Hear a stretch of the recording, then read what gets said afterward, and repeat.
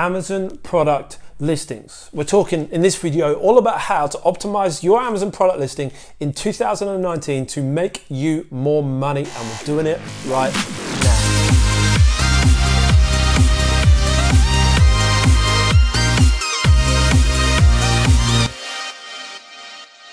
Welcome to another video guys. My name is Ben from bendonovan.co.uk and uh, I'm here to really help you build a business that's going to free you up to live the life of your dreams. And so uh, I've got this desire to help as many people as possible to have financial freedom that frees them up from the grip that money places over our time and so we can make a difference in the world we live in. And so if, if that's you, you can make a start by hitting that subscribe button, turn that notification bell on so you don't miss a thing. All right, so today we're talking about optimization. Well, why optimize? Why do I need to optimize my product listing on Amazon? Well, the term optimization simply means this the action of making the best or most effective use of a situation or resource, or the act of rendering optimal. So, in other words, you can be selling a product on Amazon, but you can have an ineffective listing. You can have a suboptimal listing, or in other words, you could be making more money.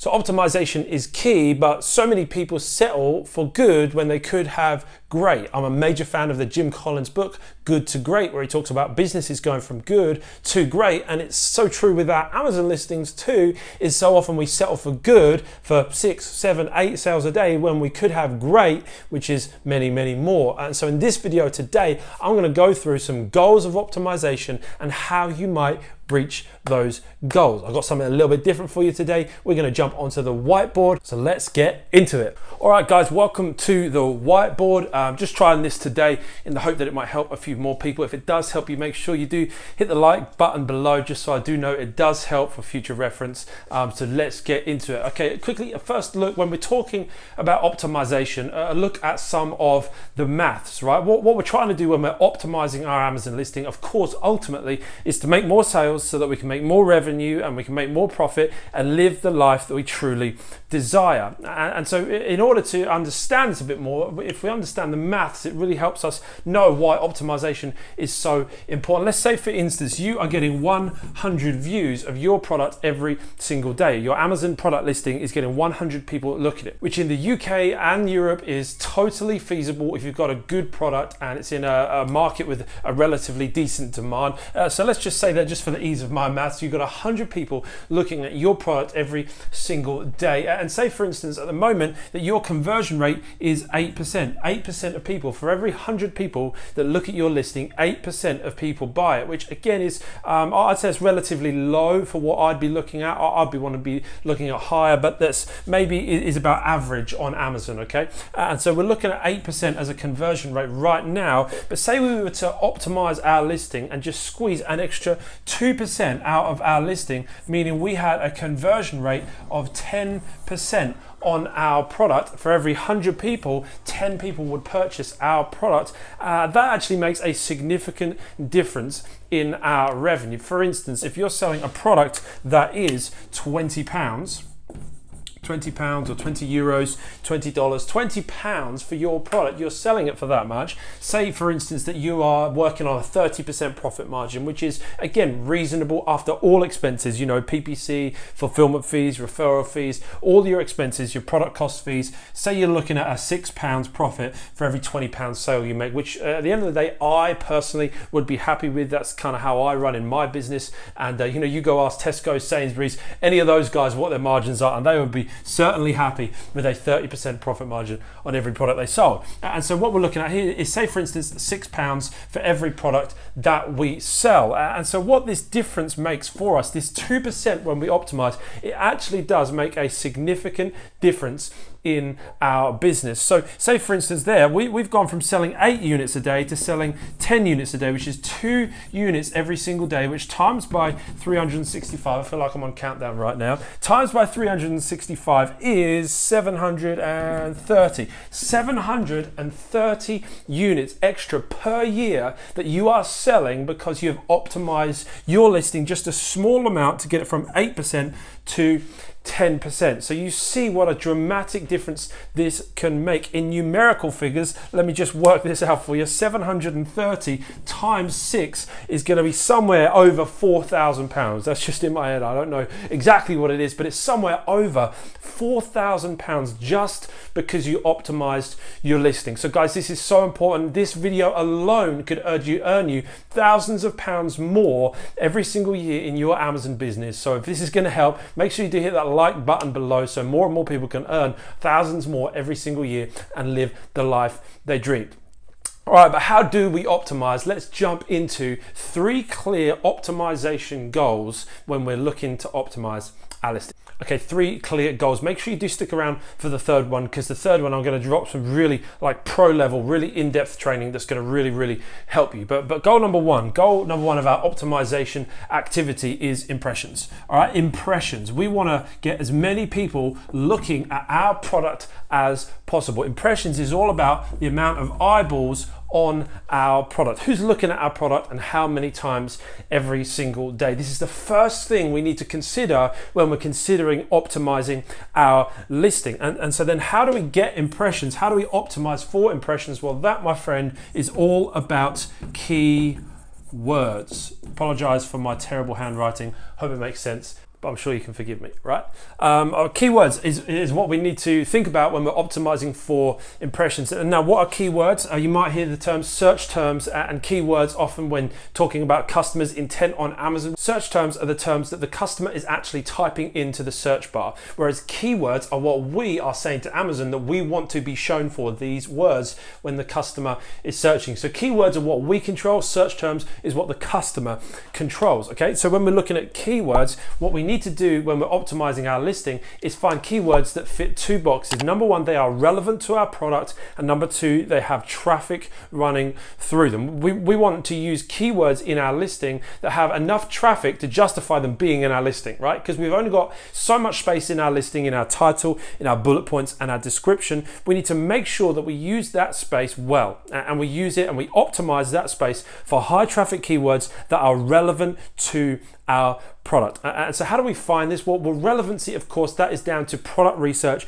that is down to digging deep into the product that we have and understanding the customer and what they're looking to buy in our product. And that is that happens in the product research stage and the market research stage. And then, how do we get keywords that have good traffic, good amounts of volume coming through them? Well, there's a few ways you can do about do that. You can actually go to Amazon and you can look in the search bar and you can begin to type the product that you have. For instance, yoga mat and you might type that in the search bar and uh, all of a sudden Amazon is going to suggest to you a whole bunch of new keywords. They're going to be longer tail keywords. They're going to be uh, variations on what you've already typed in there and that will actually show you what are the most high volume keywords in that list because Amazon ranks them in order of search volume. How popular are these uh, search terms that the customer is searching for? And so by doing that and trying a different, uh, a few different combinations of what you're typing in there, you might put in there uh, mat for yoga and then see what comes up there. You might put in um, yoga accessories and see what comes up there. And uh, you know, you can begin to get an idea of what is the highest volume keywords. So what you can also do is you can use a tool, for instance, something like Helium 10, which I am a big fan of, a big proponent of, and an affiliate for because it is the best product out there, I believe, for building great listings, for doing product research, being an all-in-one product solution. And, and what you can do with Helium 10 is you can actually type your source keyword into their magnet tool, which is a keyword research tool. And what it will do is it will give you hundreds, if not thousands, of keyword suggestions for your your product and it will give you the ability to display them in a certain order. For instance, by search volume, by how many products are competing against that keyword, and so many other things. It's a really, really useful tool. Um, at the back end of last year, Amazon actually plugged the gap in the, um, the algorithm where they were actually releasing the data for accurate search volume for different keywords in the Amazon system. And so uh, Helium 10 Magnet was one of the very first tools that actually had access to this data. And, uh, and whilst now Amazon has stopped giving this data out to any tool across the board. Um, whilst that is disappointing because we can't see those numbers, Helium 10 actually is at the, the forefront of the industry, and, uh, and what they do is actually they've uh, you know taken 15 months worth of data and still given us the you know the most accurate estimations on that data. So, so whilst it isn't now entirely from the mouth of Amazon, so to speak, it is still super helpful, super reliable data that we can plan our keyword structure and optimize our listing around. So remember, if we want to optimize for impressions and get eyeballs on our product, what we need to do is find the right keywords. Find your list of keywords, continually optimize your keywords because remember, optimization is not a one time event, but it's a continual process. It is find the keywords that are both relevant to your product and also have a lot of traffic coming through them. All right, so that is goal number one when it comes to optimizing, and that is for impressions. Okay, so we've got impressions on our product. People are actually seeing our product. So now what do we need to optimize our listing in light of? What's the second goal for optimizing our listing? And the second goal, goal number two, is for clicks. Uh, it's not enough to get impressions. It's not enough just for people to see our product. Uh, we need to get people to click through into our product listing. There's no point having a product listing if no one goes in and see it. People can't buy your product unless they go into your product listing. So what you need to do is once you've optimized for impressions, you actually then need to consider clicks. So how do I get people to click on my listing now they've seen it in the Amazon search results? And so when it comes to attracting clicks, three things you can do to attract more clicks and optimize for more clicks. And, and the first one is your photos and primarily or only for this one is your main image because obviously on the impression that's the only one they're going to see. The main image that shows up in the product listings on Amazon. Uh, so when people are scrolling past your product, they are either going to click through your product because they have seen your photo or they're going to keep on scrolling. Your, your, product photo, your main image, your hero image is one of the main ways that you can get people to click on your product. And so what does this photo need to be, this main image need to be? Well, of course it needs to be high quality. It needs to be a great quality photo, not blurry, not ambiguous, not hard to work out, make out what it is. It needs to be clear and obvious what your product is, but it also you want to try do everything you can to make this image pop. You want to make this image stand out. So what I would do whenever I'm launching a product into a new market or into a, a market we're already in and uh, you know I want to get to page one for a certain keyword, every time I do that, what I will do is I will search for the product, say for instance yoga mat or uh, you know something like that. I will search for that product and I will look through the page one results and I will go through that and I will look where can my image be different. So for instance, maybe all of the images on that first page are a certain color. Maybe my mine can stand out by being a different color, a more vibrant color, or, or maybe my product is uh, unique in a way that I can actually be, do something creative with it to make it again stand out. Now, Amazon's terms of service are, um, you know, relatively restrictive about what you can do with a main image. They say that you're not supposed to put text on it, you're not supposed to put uh, models on that main image or anything like that. What you're meant to do with that main image is literally just the product with a white background but you can get creative with this. You, I mean, you can push the boundaries if you want to. I wouldn't recommend it, um, but you can get creative with this. You can, for instance, if you maybe have some colorful packaging or some high quality packaging, you can include that in the main image because that is part of your product. Um, what we would do with some of our products is actually spell things out. If there are a number of, of units in a box, uh, it's like a multi pack, or it's a certain size or weight or whatever it is that defines it. If you've maybe got small parts in your product, you could maybe use some of those to spell something out for that main image. Just something different. Think, what can I do differently with this main image that is going to cause people just to stop, stop scrolling and take notice of your uh, listing because then that is going to attract a click, which is the next stage of optimization. All right, so the, the first one that you can optimize for with clicks is your main photo. The second thing to consider when optimizing your listing for clicks is your pricing your pricing. What are you pricing your product at? Because again, if someone's searching for a product, they're searching for their yoga mat, and someone's selling a yoga mat for £10, but you're selling it for £50, are they likely to click on your listing? Probably not. And now, hear what I'm saying with this. What I'm not saying is be the cheapest product out there. That's not what I'm saying. What I'm saying is you've got to test. You've got to test your pricing to find what is the optimal price for your product. And that will differ at different times of the year. You may be able to charge more at peak times. Uh, you may have to discount at peak times to stay in the market. You know it will differ through the year so it's not just a set and forget thing. Again remember uh, optimization is a continual process. But when it comes to pricing what we're saying here is test the pricing. So you may want to try testing it a little bit lower. You might want to test trying it uh, a little bit higher. You know I've actually found several times that when I've increased the prices of various products the, the sales haven't gone down, and on occasions they've actually gone up. I had a product just recently that I had some issues with on the, the fulfillment fee because Amazon wrongly measured the unit and uh, they put the fulfillment price up, and I was in a wrestle with them whether I could actually get this change back because they were adamant it was one thing, I was adamant it was another, and there was this whole wrestle going on. So I thought that the, the one pound kind of hit that I'd taken on that fulfillment fee, I'm going to add that onto my price and uh, you know just to help make up some of that lost ground there and see what happens. And I actually began to sell more of this product. It went from sort of seven or eight sales a day to like 12 or 13 every day. And, uh, and it was uh, after I put the price up. So not only were we doing more sales, but we had a better profit margin once that fulfillment issue uh, got sorted out, which eventually it did. So, you know, I may never have tried that if that issue hadn't have come up. So that's it's things like that that make me realize how much I need to continually optimize and test my pricing, not just down, but up also or also test. Um, you know what's the best way to finish your pricing? Is it 99 is it 95 is it 97 is it 49 you test these things out. There's no harm in testing. You might you might find believe it or not that people's psychology actually work towards one of these more and they're more likely to buy or click at least because of one of these different pricing endpoints so um, you know worth looking into the psychology of pricing studying that especially as you're in sales and, uh, and having a look at that too. So that's the second thing to consider when you're optimizing for clicks. Third consideration when optimizing for clicks, of course, is your reviews.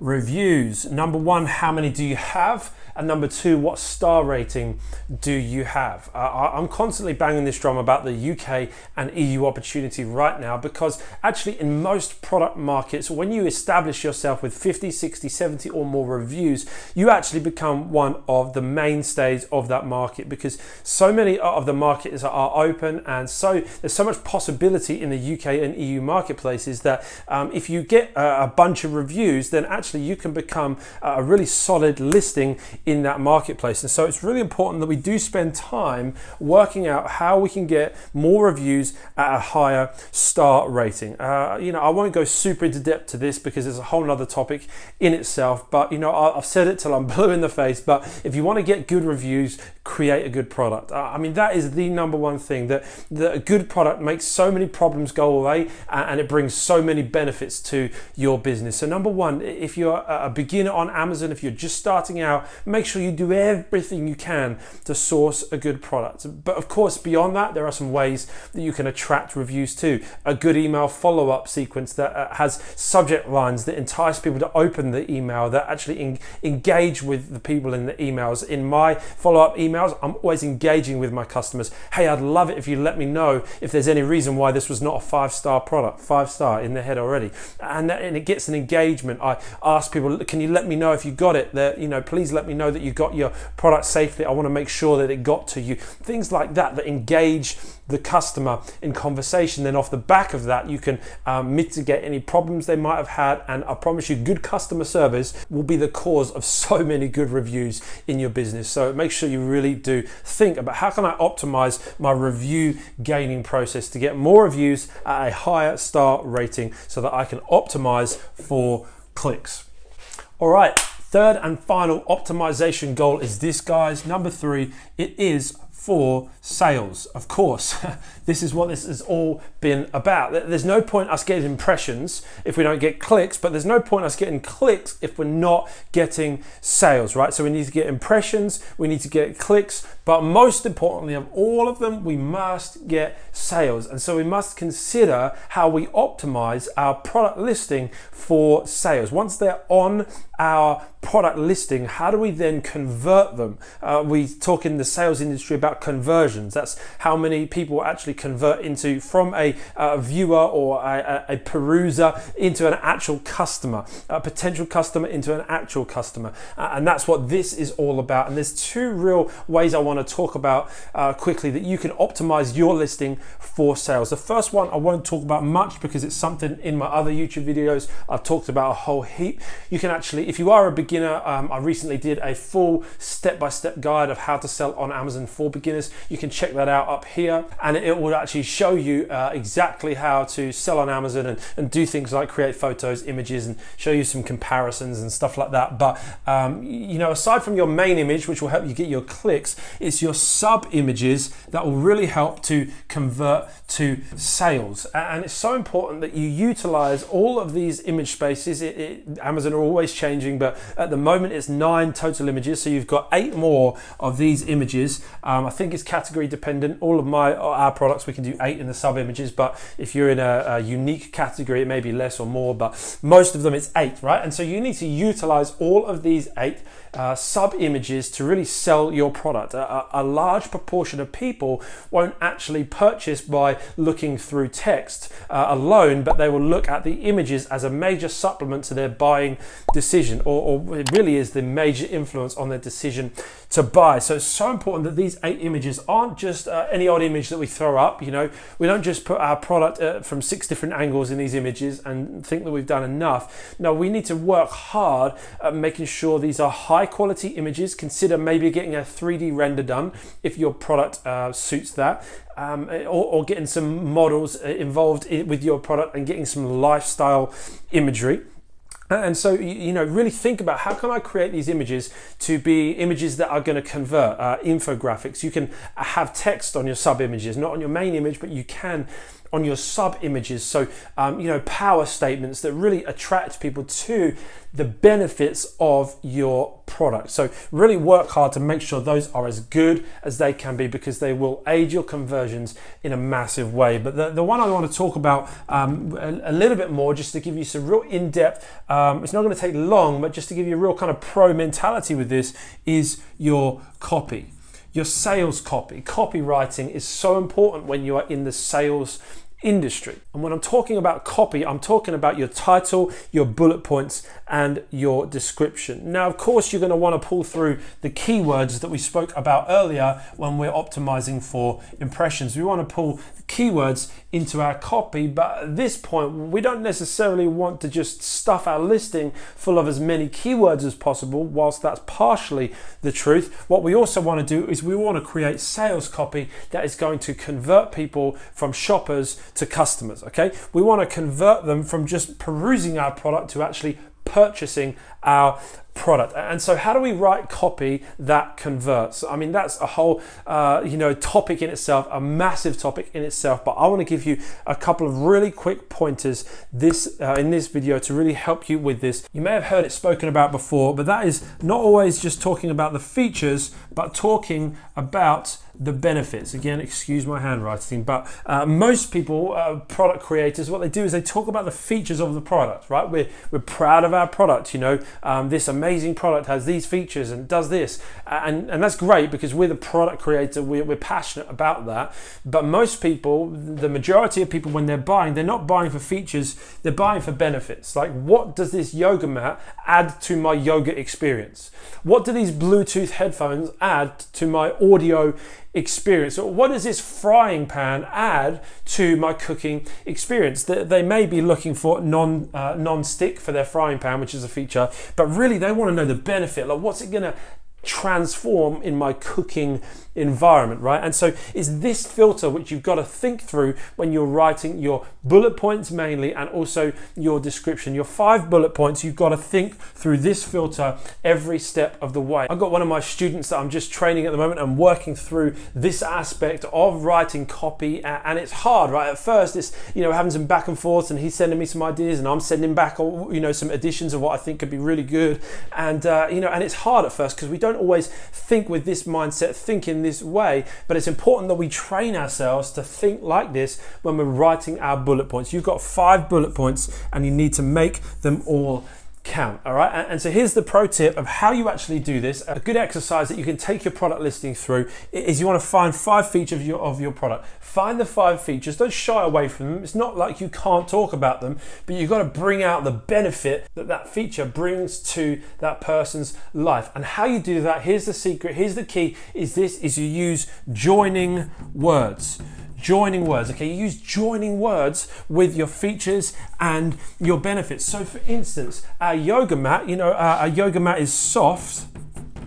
And then we've got to find a joining word that brings us to the benefit. Uh, adjoining words can be things like um, allowing. Uh, that's a great joining word. It's uh, you know really just flows in right. Allowing. So this yoga mat is super soft. Uh, you know it's really we've made it really thick, allowing you to have longer yoga sessions without feeling the pain. Right. Uh, instantly you've taken something that's a benefit. It's nice. It's soft. Cool. Right? Every yoga mat's soft, but you've created the emotion in the buyer by saying allowing you to have longer yoga sessions. Um, let's take for instance, um, headphones, right? So uh, wireless headphones. So wireless is the feature, um, but what are we looking for in the benefit? We're, we're thinking it's going to free us up, right? Okay, so it's going to free me up. So freeing freeing you up to have, uh, you know, freeing you up to enjoy your gym session uh, without hindrances, you know, something like that. You, you get it. You can come up with something better, I'm sure, given a bit of time and thought. I'm doing this on the fly. Right? I haven't prepared these, so it's just um, just thinking about it, right? Um, so here's some other words. What's another word? Like uh, meaning. That's another word. Um, so for instance, you might be selling, uh, you know, a frying pan, for instance. Um, so you want to sell, say the frying pan is non-stick, non-stick frying pan, meaning um, you can spend more time uh, cooking and eating and less time cleaning your pans. Oh man, that is a good one. That is not that was not planned, but that is a good one. That will sell, right? Because people instantly are like, oh yeah, I, don't, I hate cleaning. you, you, know, you hate you hate cleaning up, right? You hate doing the washing up. I don't know if there's anyone out there and you enjoy cleaning up and washing up. You need help, uh, but uh, by selling someone that idea that actually you can spend less time cleaning and more time doing the things you love if you buy this product, right? That right there is a benefit, and that right there will honestly earn you thousands of pounds more this year if you implement it. All right. So those are the, those are the three things you got to implement into your product listing to optimize. It's got to be for impressions. Remember, we want to get eyeballs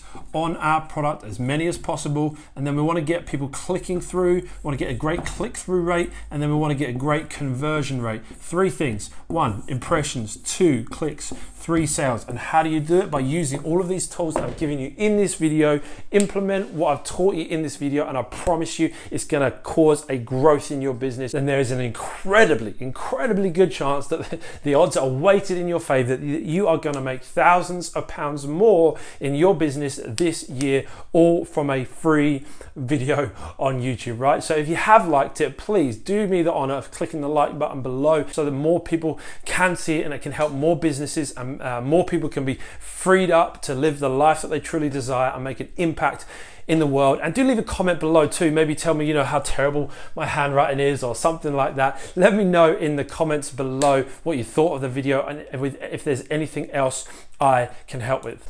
And here's the thing, right? You can implement the strategies from this video today and it can make a significant difference in your business. And now what so many people do is they shy away from actually investing in growing in themselves. And, uh, you know, recently I, I, looked, I surveyed kind of the, the training that was available to be able to sell on Amazon, to sell online um, that's available to us today. And I noticed a few things. Number one, I noticed that the quality really I felt could be higher. Uh, number two, I, I felt like the prices were quite expensive for the quality that was available. And so having avoided it for so long because I didn't want to be like one of those guys, you know, one of those course gurus. I avoided it for that reason, but then I actually realized that, you know what, this is the reason I should start it because I am different. And what I want to do is bring so much value to the table for an affordable price. It still means that people value it because they've invested something into it. Because ultimately, what I've noticed in my life is that those that pay, pay attention. You know, when we invest in something, we go to the next level with it and we get passionate and committed to it. And so what I did is I actually created a training program called Amazon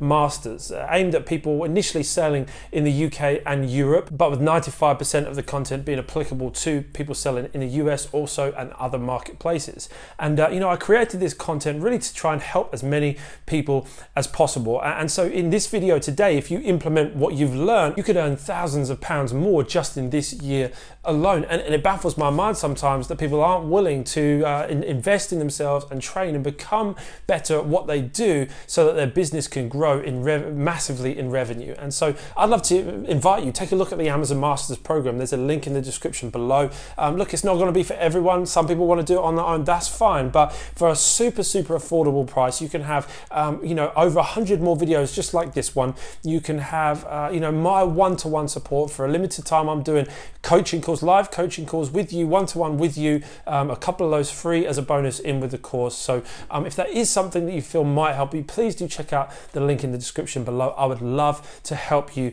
some more. If you have liked the video, please do drop a like. Let me know in the comments below what's helped. And don't forget, if you're someone who wants to build a business that's going to bring them financial freedom, that's going to free you up to live the life that you want, to live the life of purpose that you desire, uh, then make sure you do hit my ugly mug uh, and subscribe and uh, turn that notification bell on just to make sure you don't miss any of the videos that are coming out. I've got some great things planned over the next few months and really believe that they're going to help you build the business of your dreams and build the life of your dreams too. All right, I will see you in the next one.